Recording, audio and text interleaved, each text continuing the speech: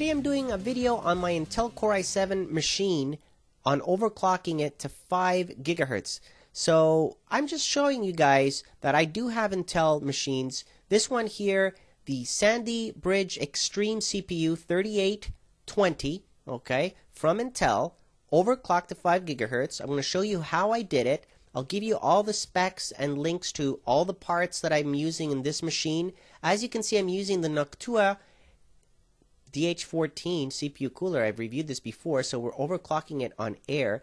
I'll put a liquid cooler in here later and we'll compare the temperatures. But right now, 5 gigahertz on air, okay, acceptable voltages and temperatures already. So the Noctua CPU cooler is doing a great job considering how much I'm pushing to extreme. Now, the key thing for me in order to get 5 gigahertz in this case was to upgrade the BIOS on this board. The previous BIOS that I had would not allow me to get that. I could only get like 4.7 gigahertz. So, definitely got an increase in performance with this BIOS, more stable, and I was able to have some nice tight timings of 99924 on this Patriot memory also. So, this gives you a good idea on how I was able to get really good performance and I'll do a part 2 video on benchmarks. But this one here, this video just shows you the system, it shows you the BIOS settings and how I was able to get 5 gigahertz, okay? So it can be done.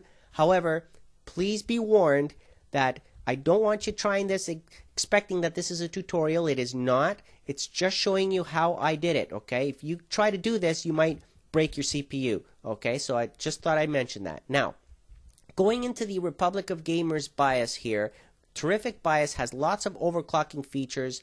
I set it to manual because I need to go and tweak things. The bus frequency is set to 128.375 and the multiplier is set to 39. Okay, I did a lot of testing back and forth in order to get it stable in Windows 8 using Prime 95 and running all the cores. This is a true overclock. There are no cores disabled. There is no open cases here. This is a real live overclocking situation. And I have here the voltage of the CPU set to 1.47 volts. Okay, and you can see here the memory settings. You can see what I have set to auto.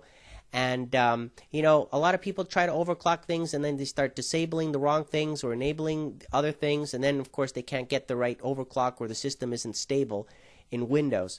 This truly is a stable machine running at 5 gigahertz, which is absolutely amazing. Now, going to the next screen here, I did increase the RAM voltage to 1.6, which is not a lot really. By default, it was set to 1.5, so I increased it to 1.6 just to make sure that I had stable, um, you know, performance coming out of that memory when it's slightly overclocked or at tight memory settings. Now, going to the next screen here on the Digi power control, that's where the load line calibration uh, settings are, I set it to extreme. That allows fluctuations in voltage. So even though I set the, the voltage to 1.47 volts for the CPU, it'll go over 1.5 volts when I'm running it all at 100% full load because it needs that extreme uh, performance out of it, out of there, and more voltage, more energy is required, obviously. Now, on the next screen here, you can see that I pretty much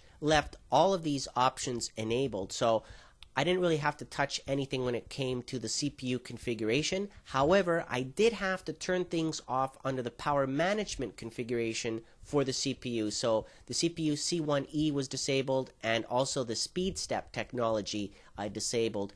So that way um, it doesn't try to um, clock down or decrease the voltage. I wanted stable voltage coming out of it. And that's how I got 5 gigahertz. So this gives you a good idea on how I was able to do it. The system is running stable, like I said, a little bit hot on uh, the uh, temperatures. Obviously, if they run at 100% all the cores, but when are you really doing that?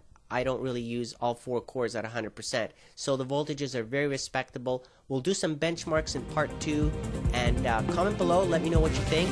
And again, thank you for watching.